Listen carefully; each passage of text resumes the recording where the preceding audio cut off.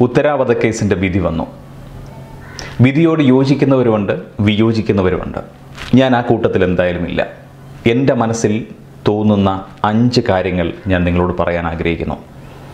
Number one ഒരു ചെറുപ്പക്കാരന്റെയും ഒരു ചെറുപ്പക്കാരിയുടെയും ജീവിതം നഷ്ടമാകുന്നത് ഒന്ന് ഭൂമിയിൽ നിന്ന് വിട പറഞ്ഞുകൊണ്ടും മറ്റൊന്ന് അഴിക്കുള്ളിൽ മരണം കാത്തു കിടക്കുന്ന ഒരു വ്യക്തിയായി മാറിയുമാണ് ഈ രണ്ട് ജീവിതങ്ങൾ നഷ്ടമാവുന്നത് അതിന്റെ ഒന്നാമത്തെ കാരണം എന്താണെന്ന് ചോദിച്ചാൽ മാതാപിതാക്കൾ സ്വാർത്ഥരാകുന്നിടത്താണ് ഇത്തരം അപകടങ്ങൾ ജനിക്കുക. ഒരു കുട്ടിക്ക് ശാരീരികവോ മാനസികവുമായിട്ടുള്ള എന്തെങ്കിലും അസ്വസ്ഥതകൾ ഉണ്ട് എങ്കിൽ വിവാഹമാണ് അതിന് ഏറ്റവും നല്ല മെഡിസിൻ എന്ന് പറഞ്ഞ് പഠിപ്പിക്കുകയും ഒരു വിവാഹത്തിലേക്ക് തള്ളിവിടുകയും ചെയ്യുന്ന മാതാപിതാക്കൾ തെറ്റുകാരാണ്. രണ്ടാമത് അങ്ങനെ ഒരു അസ്വസ്ഥതയോ അങ്ങനെ ഒരു ബുദ്ധിമുട്ടോ ഉള്ള ഒരു കുട്ടിയെ സ്വീകരിക്കുമ്പോൾ കുറേ പണം കിട്ടും. അതുവഴി നമ്മൾക്ക് വലിയ ആൾക്കാരായി മാറാം എന്ന് മക്കളുടെ മനസ്സിൽ വിഷം കുത്തിവെക്കുന്ന ആ മാതാപിതാക്കളും തെറ്റാണ്. തന്റെ മകനോ മകൾക്കോ ഒരു കുറവുണ്ടെങ്കിൽ ആ കുറവ് നികത്തുന്നതിന് ഏറ്റവും നല്ല മാർഗമെന്ന് പറയുന്നത് വിവാഹമാണെന്ന് തെറ്റായി ധരിക്കുന്ന മാതാപിതാക്കളോടൊരു കാര്യം. അവരുടെ പ്രായത്തിന് പുറകിലേക്ക് നോക്കിയാൽ അത്രയും കാലം നിങ്ങൾ വളർത്തിയെടുക്കാനായിട്ടും അവൾ സർവൈവ് ചെയ്യുവാനായിട്ടും ഒക്കെ നിങ്ങൾ കഷ്ടപ്പെട്ട സമയങ്ങളിൽ ഏതൊക്കെ ബുദ്ധിമുട്ടുകളിലൂടെയാണ് നിങ്ങൾ പോയതെന്നും എത്രത്തോളം വിഷമങ്ങൾ നിങ്ങൾക്കത് അനുഭവിക്കേണ്ടി വന്നെന്നും അവൾ എത്രത്തോളം വിഷമങ്ങൾ അല്ല അവൻ എത്രത്തോളം വിഷമം അനുഭവിച്ചിട്ടുണ്ടാകും എന്നുള്ള കാര്യത്തെക്കുറിച്ചിട്ട് കൃത്യമായി അറിയാവുന്നത് ആ മാതാപിതാക്കൾക്ക് മാത്രമാണ്. ഇതിന് ഒരു സൊല്യൂഷനായി ഒരു ഏഴ് ദിവസമോ പത്ത് ദിവസമോ അല്ലെങ്കിൽ ഒരു മാസമോ പരിചയപ്പെട്ട ഒരാളുമായിട്ട് ജീവിതം ആരംഭിക്കാനായിട്ട് പുറപ്പെടുന്ന സമയത്ത് അത് തെറ്റായി ധരിക്കപ്പെടുന്നതും അത് പൊന്നുപോലെ നോക്കുമെന്നും അവൻ സ്നേഹമുള്ളവനാണെന്നും തെറ്റിദ്ധരിക്കുന്നതാണ് ഏറ്റവും വലിയ തെറ്റ്. നമ്പർ ടു ഈ ലോകത്ത് ഏറ്റവും പെട്ടെന്ന് തിരിച്ചറിയാൻ പറ്റുന്നത് എന്താണെന്നറിയോ? ഒരു വ്യക്തിക്ക് മറ്റൊരു വ്യക്തിയോടുള്ള സ്നേഹം കുറയുന്നതാണ് ഏറ്റവും പെട്ടെന്ന് കണ്ടുപിടിക്കാൻ പറ്റുക. മുമ്പുണ്ടായിരുന്നത്ര സ്നേഹം ഇപ്പോഴില്ല എന്ന് വളരെ കൃത്യമായി തോന്നുന്ന ഇടത്ത് എന്താണ് അതിന്റെ കാരണമെന്ന് മനസ്സിലാക്കാൻ ചിലപ്പോൾ ആരായുന്നത് മാതാപിതാക്കളുടെ അടുക്കലാണ്. അപ്പോൾ ഈ മാതാപിതാക്കൾ പറയും മകളെ അഡ്ജസ്റ്റ് ചെയ്ത് ഇങ്ങനെയൊക്കെയാണ് പോകേണ്ടത്. ഞാനും അങ്ങനെയൊക്കെ തന്നെയല്ലേ വളർന്നു വന്നത്. അപ്പോൾ അതുകൊണ്ട് അങ്ങനെയൊക്കെ ഒന്ന് പിടിച്ചൊക്കെ പോകണം. അല്ലെങ്കിൽ പിന്നെ എന്താണ്? അല്ലെങ്കിൽ നമ്മുടെ സമൂഹം നമ്മളെ മോശക്കാരെന്ന് ധരിക്കും എന്ന് പറഞ്ഞ് പിന്നെയും പിന്നെയും ആ കുറഞ്ഞ സ്നേഹത്തിന് പണം കൊടുത്ത് അതിനെ ബാലൻസ് ചെയ്യാൻ ശ്രമിക്കുന്ന സ്ഥലത്ത് അപകടങ്ങൾ പിന്നെയും ജനിക്കുന്നു. പക്ഷികൾ കൂടുകൂട്ടുന്നത് ദൂരെ നിന്ന് മനുഷ്യൻ നോക്കി കണ്ടിട്ടുണ്ട്.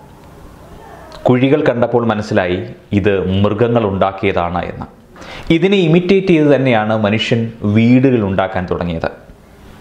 പിന്നീട് മാനുകളെയും മൃഗങ്ങളെയും ഒക്കെ വേട്ടയാടാൻ വേണ്ടി ഇങ്ങനെ കുതിച്ചു പായുന്നതിനിടയിൽ ഇതെല്ലാം കണ്ട് രസിച്ചുകൊണ്ട് ഒരു ചിലന്തി ഈ മനുഷ്യനോട് ചോദിച്ചു ഹേ മനുഷ്യ നിങ്ങൾ എന്ത് മണ്ടനാണ്? നിങ്ങൾ എരയെ പിടിക്കാൻ വേണ്ടി ഈ കണ്ട ഓട്ടമെല്ലാം ഓടി കഷ്ടപ്പെട്ട് കിട്ടിയില്ലെങ്കിൽ കിട്ടിയില്ല എന്ന് നിങ്ങൾ പട്ടിണി. ഇങ്ങനെ പോകുന്നതിനെക്കാട്ടിൽ എത്രയോ ബുദ്ധിമാനാണ് ഞാൻ. നിങ്ങൾ എന്നെ നോക്കി പഠിക്കൂ. ഞാൻ എരകളെ തേടി എങ്ങും പോകാറില്ല എല്ലാം എന്റെ അടുക്കിലേക്ക് വരും. ചുമ്മാ അങ്ങിരുന്ന് കൊടുത്താൽ മതി. ചിലന്തി വല കെട്ടി പ്രാണികൾക്ക് വേണ്ടി കാത്തിരിക്കും. എന്തായാലും മൂന്നോ നാലോ എണ്ണം ആ ഒരു ദിവസം ആ വലയിൽ വന്ന് വീഴും. മനുഷ്യൻ ഇതും അഡോപ്റ്റ് ചെയ്തു. അങ്ങനെ ഈ പ്രകൃതിയിലുള്ള അവൻ കണ്ടതും കേട്ടതുമായ എല്ലാ കാര്യങ്ങളും ഇമിറ്റേറ്റ് ചെയ്യാൻ തുടങ്ങിയവനാണ് മനുഷ്യൻ എന്ന് പറയുന്നത്.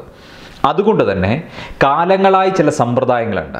ജീവിതത്തിൽ ഇതൊത്തു പോവില്ല എന്ന് കരുതുന്ന സമയത്ത് ഈ ബന്ധം വേണ്ട എന്ന് തീരുമാനിക്കുന്ന സമയത്ത് മാതാപിതാക്കളായ ആളുകൾ അതിനരുത്. അത് നമ്മളുടെ പേരിനെ നമ്മളുടെ കുടുംബത്തിന്റെ മഹിമയെ സമൂഹത്തിനെ ഒക്കെ അത് വലിയ രീതിയിൽ ബാധിക്കും. അതുകൊണ്ട് നീ എങ്ങനെയെങ്കിലും അവിടെ പിടിച്ചു നിൽക്കണമെന്ന് പറയുന്നത് ആ മാതാപിതാക്കളാണ്.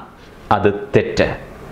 നമ്പർ ഫോർ വിവാഹം കഴിച്ചിട്ട് പത്തോ ഇരുപതോ ദിവസം കഴിഞ്ഞ് അല്ലെങ്കിൽ ആറ് മാസം കഴിഞ്ഞ് മനസ്സ് അസ്വസ്ഥമായി വീടിനുള്ളിൽ കടിച്ചു തൂങ്ങി നിൽക്കുന്ന ഒരുപാട് ആളുകൾ ഈ വീഡിയോ കാണുന്നുണ്ടെന്ന് എനിക്ക് നന്നായി അറിയാം. കാര്യം എല്ലാവർക്കും എല്ലാം ഉദ്ദേശിക്കുന്നത് പോലെ ചേരണമെന്ന് ഒരു നിർബന്ധവുമില്ല. കുടുംബ ബന്ധത്തിന് അടിസ്ഥാനം എന്ന് പറയുന്നത് ഇന്റിമസി പാഷൻ ആൻഡ് കമ്മിറ്റ്മെന്റ് ഈ മൂന്ന് കാര്യങ്ങളാണ്. ഇന്റിമസി എന്ന് പറഞ്ഞാൽ തുറന്നുള്ള സംസാരങ്ങളും പരസ്പരം സംസാരിക്കാനായിട്ടുള്ള അവസരങ്ങളെ കൃത്യമായി ഉപയോഗിക്കുന്നത്. പാഷൻ എന്ന് പറയുന്നത് ഫിസിക്കൽ ആൻഡ് സെക്ഷൽ ആയിട്ടുള്ള അവരുടെ ഒരു ലൈഫ് ആൻഡ് കമ്മിറ്റ്മെന്റ് എന്ന് പറഞ്ഞാൽ ഇതെന്റെ ഭർത്താവാണ് ഇതെന്റെ ഭാര്യയാണ് എന്ന് ആത്മാർത്ഥമായിട്ട് മനസ്സിന്റെ ഉള്ളിൽ നിന്ന് പുറത്തേക്ക് കൊണ്ടുവരാൻ സാധിക്കുന്നു. ഈ മൂന്ന് കാര്യങ്ങളിൽ ഏതെങ്കിലും ഒന്ന് ഇല്ലാതെ വരുന്ന സ്ഥലത്ത് തീർച്ചയായും ആ കുടുംബ ബന്ധത്തിനകത്ത് വിള്ളലുകൾ എപ്പോൾ വേണമെങ്കിലും സ്റ്റാർട്ട് ചെയ്യാം. അഞ്ചാമത്തെ കാര്യം ഒരു നടന്ന സംഭവമാണ്. വിവാഹം കഴിഞ്ഞ് ഏഴാമത്തെ മാസം ഡിവോഴ്സിന് ആ പയ്യൻ അവരുടെ വീട്ടുകാർക്ക് ലെറ്റർ കൊടുത്തു. എന്തിനാണ് എന്ന് ചോദിക്കുമ്പോൾ അവൻ പറഞ്ഞത് ഇങ്ങനെയാണ്. വിവാഹം കഴിച്ച് അഞ്ചാമത്തെ ആറാമത്തെ ദിവസം മുതൽ എനിക്ക് ചില സംശയങ്ങൾ എന്റെ മനസ്സിൽ ഉടലെടുത്തു. ഈ പെൺകുട്ടി ഒരുപാട് സമയം കിടന്നുറങ്ങുന്നു. അമിതമായി ഭക്ഷണം കഴിക്കുന്നു. എപ്പോഴും എന്തെങ്കിലുമൊക്കെ കാര്യങ്ങളിൽ പെട്ടെന്ന് ദേഷ്യം വരുന്നു. പിന്നെ പറയുന്നതൊന്നും കേൾക്കുകയോ ഇങ്ങോട്ട് പറയുകയോ ഒന്നുമില്ല. എപ്പോഴും ഒരു മുറിക്കകത്ത് തന്നെ ഇങ്ങനെ ഇരിക്കാൻ ഇഷ്ടപ്പെടുന്ന ഒരു രീതി. ചില സമയങ്ങളിൽ പലതരത്തിലുള്ള സ്വഭാവങ്ങൾ കാണിക്കും. എന്താണെന്ന് എനിക്കറിയത്തില്ല. അങ്ങനെ ഒരു ദിവസം ഇങ്ങനെ ഭക്ഷണം കഴിക്കാൻ വീട്ടിലേക്ക് ജോലി കഴിഞ്ഞ് വരുന്ന സമയത്ത് ഉച്ച ഊണിന് നോക്കുമ്പോൾ ഒന്നും ഉണ്ടാക്കിയിട്ടില്ല. അവിടെ കിടന്ന് ഉറങ്ങുന്നു. അപ്പോൾ ക്ഷീണം കാരണം ഉറങ്ങിയതാണ് എന്ന് പറഞ്ഞു. എന്താണ് ക്ഷീണമെന്ന് മനസ്സിലാക്കാനായിട്ട് അന്വേഷിച്ചു. അവിടെ മുതൽ അവന്റെ ഇൻവെസ്റ്റിഗേഷൻ ആരംഭിച്ചു. അങ്ങനെ ഏഴാം മാസം അവന് കൃത്യമായിട്ട് മനസ്സിലായി. നമുക്ക് ആശുപത്രിയിൽ പോകണം നമുക്കൊന്ന് ചെക്ക് ചെയ്യണം എന്ന് പറഞ്ഞു. ഒരു കാരണവശാലും ആ പെൺകുട്ടി ആശുപത്രിയിൽ പോകാൻ തയ്യാറായില്ല. പക്ഷേ നിർബന്ധമായി അവർ ഒരു ആശുപത്രിയിലേക്ക് എത്തി. ആശുപത്രിയിൽ ചെന്ന് ചെക്കപ്പ് ചെയ്തു. ചെക്കപ്പ് ചെയ്തപ്പോൾ റിസൾട്ട് കിട്ടിയപ്പോൾ അമ്പരന്ന് പോയത് അവനാണ്. ജന്മന ഡയബറ്റിക് ആയ ഒരു പെൺകുട്ടിയാണ്. മൂന്ന് നേരം ഇൻസുലിൻ എടുത്തുകൊണ്ടിരിക്കുന്ന ഒരു കുട്ടിയാണ്. ഒരുപാട് ആരോഗ്യ പ്രശ്നങ്ങളും മാനസികവും ശാരീരികവുമായി ഒരുപാട് പ്രശ്നങ്ങളുള്ള ഒരു പെൺകുട്ടിയാണ്. അതായത് ഡയബറ്റിക്കിന് പല സ്റ്റേജുകളുണ്ട് അതിൽ ഏറ്റവും കൂടിയ സ്റ്റേജ് എന്ന് മനസ്സിലാക്കുക. മൂന്ന് നേരം ഡയബറ്റിക്കിന് ഇൻസുലിൻ എടുത്തുകൊണ്ടിരിക്കുന്ന ഒരു പെൺകുട്ടി എന്നുകൂടി കരുതുക. ഇത് മറച്ചു വെച്ചുകൊണ്ടാണ് വിവാഹം കഴിച്ചത്. ആ നിമിഷം മുതൽ ആ പയ്യന്റെ ഉള്ളിൽ ഒരു വലിയ അഗ്നിപർവതമായി എന്ത് ചെയ്യണമെന്നറിയത്തില്ലാതെ തന്നെ ചീറ്റ് ചെയ്യപ്പെട്ടു. ഇത്രയും നാൾ എന്നെ ചീറ്റ് ചെയ്യുകയായിരുന്നു എന്നുള്ളൊരു വലിയ തോട്ടം എന്റെ മനസ്സിനുള്ളിൽ വന്നു. ഒരിക്കലും അവന് പൊറുക്കാൻ പറ്റാത്ത തരത്തിലുള്ള ഒരു തോട്ടായതുകൊണ്ട് അവൻ അത് ഒന്ന് രണ്ട് പേരുടെ അടുക്കൽ പറഞ്ഞു. അഭിപ്രായങ്ങൾ ആരാഞ്ഞു? അവരുടെ വീട്ടുകാരുടെ അടുക്കൽ സംസാരിക്കാൻ തീരുമാനിച്ചു. നിങ്ങൾ എന്തിനാണ് ഒരു രോഗമുണ്ടായിട്ട് അത് മറച്ചു വെച്ചുകൊണ്ട് വിവാഹം കഴിച്ചത്? നിങ്ങൾ പറഞ്ഞിട്ടായിരുന്നു വിവാഹം കഴിച്ചിരുന്നെങ്കിൽ അതിനകത്തൊരു അന്തസ്സും അല്ലെങ്കിൽ അതിനകത്തൊരു അഭിമാനവും ഉണ്ടായിരുന്നു. അപ്പോഴാ അമ്മ പറഞ്ഞൊരു വാക്കുണ്ട്. ഏകദേശം മുപ്പത്തി മൂന്നോളം വിവാഹാലോചനകൾ നടന്നു. അവരോടൊക്കെ ഞങ്ങൾ ഇത് പറഞ്ഞു. പക്ഷേ അവരാരും ഈ കല്യാണത്തിന് സമ്മതിച്ചില്ല. ഞങ്ങൾ ഒന്ന് കള്ളം പറയാമെന്ന് തീരുമാനിച്ചു. കാരണം അവളുടെ കൂടെ പഠിക്കുന്ന ഒരുപാട് കുട്ടികൾ വിവാഹം കഴിച്ച് നല്ല വസ്ത്രങ്ങളൊക്കെ ധരിച്ച് മണ്ഡപത്തിൽ പോയി നിൽക്കുന്നതും ചിത്രങ്ങൾ കാണുകയൊക്കെ ചെയ്യുമ്പോൾ അവിടെ കണ്ണിലൂടെ വെള്ളം വരുന്നത് പലപ്പോഴും കണ്ടിട്ടുണ്ട്. അതുകൊണ്ട് ഇങ്ങനെ ഒന്ന് കള്ളം പറയാം എന്ന് കരുതി അല്ലെങ്കിൽ വേറൊന്നും ഞങ്ങൾ ഉദ്ദേശിച്ചിട്ടുണ്ടായിരുന്നില്ല. ഞങ്ങൾ ഇനിയും എത്രത്തോളം വേണമെങ്കിലും പണമോ കാര്യങ്ങളോ ഒക്കെ ഞങ്ങൾ തരാം. ദയവ് ചെയ്ത് ഒരു ഡിവോഴ്സിലേക്കൊന്നും പോവരുത് എന്ന്. പക്ഷേ ആ പയ്യന്റെ മനസ്സ് ഇങ്ങനെയായിരുന്നു. തന്നെ ചീറ്റ് ചെയ്യപ്പെട്ട ഒരു പെൺകുട്ടി ഇനിയും ഇനിയും എന്നെ ചീറ്റ് ചെയ്യപ്പെടാൻ ഉള്ള സാധ്യത കൂടുതലാണ്. ആ വീട്ടുകാർ ഞങ്ങളോട് ചെയ്തത് ഏറ്റവും വലിയ അപരാധം. എന്റെ ജീവിതം വെച്ചാണ് കളിച്ചത്. എന്നോട് നേരത്തെ പറഞ്ഞിട്ടുണ്ടായിരുന്നെങ്കിൽ ഒരു പക്ഷേ എനിക്ക് ഇങ്ങനെ ഒരു കാര്യം ചിന്തിക്കേണ്ട ആവശ്യമില്ല. ഞാൻ ആ രീതിയിൽ ചിലപ്പോൾ കെയർ ചെയ്യുമായിരിക്കാം. പക്ഷേ എന്റെ മനസ്സിലിപ്പോൾ അതൊന്നുമില്ല. ഏറ്റവും നല്ല സൊല്യൂഷൻ എന്ന് പറയുന്നത് വിവാഹബന്ധം വേർപിരിയുക എന്നതാണ്. ഈ കഴിഞ്ഞ ഒന്നൊന്നര മാസങ്ങൾക്ക് മുമ്പ് അവർ വിവാഹബന്ധം വേർപിരിഞ്ഞു. ഇന്ന് രണ്ടുപേരും വളരെ ഹാപ്പിയായി അവർ അവരുടെ മേഖലയിൽ ജോലിയും കളികളും ചിരികളും ഒക്കെ ആയിട്ട് നന്നായി തന്നെ പോകുന്നു. ആ വീട്ടുകാരും ഹാപ്പിയാണ് ഈ പയ്യന്റെ വീട്ടുകാരും ഹാപ്പിയാണ് ആർക്കും ഒരു പ്രോബ്ലം ഇല്ല. എന്തുകൊണ്ടാണ് ഇപ്പോഴും പല ആളുകളും വീടിന്റെ ഉള്ളിൽ കടിച്ചു തൂങ്ങി നിൽക്കുന്നത്?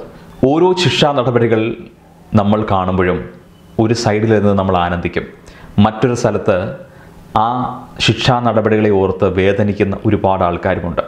ഈ ശിക്ഷകൾക്കും അല്ലെങ്കിൽ ഈ നടപടികളും ഒക്കെ കാണുമ്പോൾ നമ്മൾ പഠിക്കേണ്ട ചില കാര്യങ്ങൾ എന്താണെന്ന് ചോദിച്ചാൽ നമ്മളൊരു ഹോട്ടലിൽ സ്ഥിരമായി ഭക്ഷണം കഴിക്കാൻ പോകുന്നു. രണ്ട് ദിവസമായിട്ട് ആ ഭക്ഷണം അവിടുത്തെ എത്ര മോശമാണ് എന്ന് അറിയുന്നു. അന്വേഷിച്ച് കഴിയുമ്പോൾ മനസ്സിലാവുന്ന അവിടുത്തെ ഷെഫ് അവിടുന്ന് പോയി. ഏതായാലും പിന്നീട് ആ ഹോട്ടലിലേക്ക് പോകുന്നത് നിർത്തും. കാരണം നമ്മളുടെ ടേസ്റ്റിന് ഇഷ്ടപ്പെട്ട ഭക്ഷണമല്ല ആ ഹോട്ടലിൽ. ആ പേര് മാത്രമേ അവിടെയുള്ളൂ. അതുകൊണ്ട് അവർ നിർത്താൻ നമ്മൾ നിർബന്ധിതരാകും. രണ്ടാമത്തത് തന്റെ പഠിക്കുന്ന കുട്ടി സ്കൂളിൽ വളരെ മോശമാണ്. ആ സ്കൂളിനെ കുറിച്ചും അവിടുത്തെ അധ്യാപകരെ കുറിച്ചും അത്ര നല്ല ഒരു അഭിപ്രായം കിട്ടണില്ല. എല്ലാവരും പരാതി പറയുന്നു സ്കൂൾ മാറ്റാൻ നമ്മൾ നിർബന്ധിതരാകുന്നു. തന്റെ കയ്യിൽ ഇരിക്കുന്ന മൊബൈൽ ഫോൺ പലപ്പോഴും അതിന്റെ ചാർജ് നിൽക്കുന്നില്ല. പടം എടുത്തു കഴിഞ്ഞാൽ ഒരു ക്വാളിറ്റിയും ഇല്ല. പെട്ടെന്ന് ഹാങ് ആവുന്നു. എന്തായാലും ഇത് കുറേ നാൾ റിപ്പയർ ചെയ്ത് റിപ്പയർ ചെയ്ത് കൊണ്ടു നടന്നിട്ട് അവസാനം ഇത് കളയുകയേ മാർഗമുള്ളൂ പുതിയ ഒരെണ്ണം വാങ്ങാം. അല്ലെങ്കിൽ കുറച്ചുകൂടെ നല്ല അപ്ഗ്രേഡ് ചെയ്യപ്പെടുന്ന ഒരു സാധനം വാങ്ങാം എന്ന് കരുതും ജീവിതവും ഇതുപോലെയാണ്.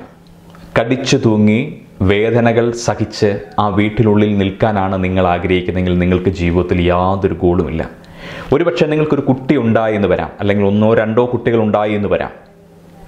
അതിനെ ഓർത്താണ് ആ ബന്ധം വേർപിരിയാൻ നിങ്ങൾ തയ്യാറാവാത്തതെങ്കിൽ യഥാർത്ഥത്തിൽ ആ കുഞ്ഞുമായി യാതൊരു ബന്ധവുമില്ല. തന്റെ പാർട്ണറുമായി ചേർന്ന് പോവില്ല എന്നുള്ളതാണ്. ആ അച്ഛന് മകനോ മകളോ അതങ്ങനെ തന്നെയാണ്. ആ അമ്മയ്ക്ക് ആ മകനോ മകളോ അങ്ങനെ തന്നെയാണ്. ചേരാത്തത് ആ പാർട്ണേഴ്സ് തമ്മിലാണ്.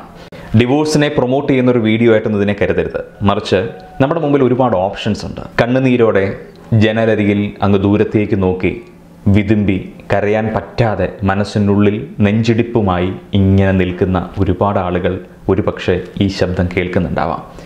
നല്ല ഇൻഫർമേഷൻസ് ഒക്കെ കളക്ട് ചെയ്യുക. മനസ്സിനെ ധൈര്യം പിടിപ്പിക്കുക. ജീവിതത്തിൽ ഒരു ലക്ഷ്യമുണ്ടാക്കിയെടുക്കുക. ജീവിതത്തിൽ ഏറ്റവും പ്രധാനപ്പെട്ടത് വിവാഹമാണെന്നുള്ളത് തെറ്റാണ് എന്ന് മനസ്സിലാക്കുക. നമുക്ക് വേണ്ടത് ഓരോ പ്രഭാതം മുതൽ ഓരോ ഉറങ്ങാൻ പോകുന്ന സമയം വരെയും ഏറ്റവും ഹാപ്പിയായി സന്തോഷമായി പുഞ്ചിരിച്ചുകൊണ്ടിരിക്കാനായിട്ട് നമുക്ക് സാധിക്കണം. അതാണ് യഥാർത്ഥത്തിൽ മനുഷ്യന് വേണ്ടത്. അല്ലാതെ വിവാഹമോ ആഡംബരങ്ങളോ സ്വത്തുകളോ കുറേ ഫോട്ടോഗ്രാഫ്സുകളോ ഒന്നുമല്ല. മറിച്ച് ഹാപ്പിനെസ്